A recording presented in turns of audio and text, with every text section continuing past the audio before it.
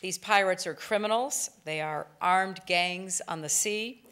And those plotting attacks must be stopped, and those who have carried them out must be brought to justice. Piracy issue, the, the initiatives you just announced. Uh, I'm curious as to how, how does one. They're buying faster and more uh, uh, capable vessels. Uh, they are uh, clearly using their ransom money uh, for the, their benefit, uh, both personally and on behalf of their uh, piracy.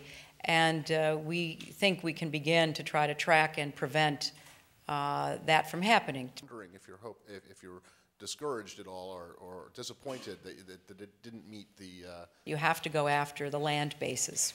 Uh, we have a pretty good idea where the land bases are.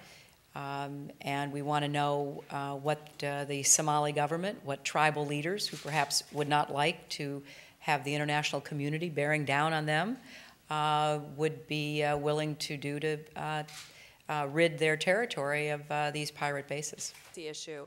But I'm wondering if you, if there's a concern that the kind of root causes of the piracy, which is the law. You got to put out the fire before you can uh, rebuild the house. And right now, we have a fire raging.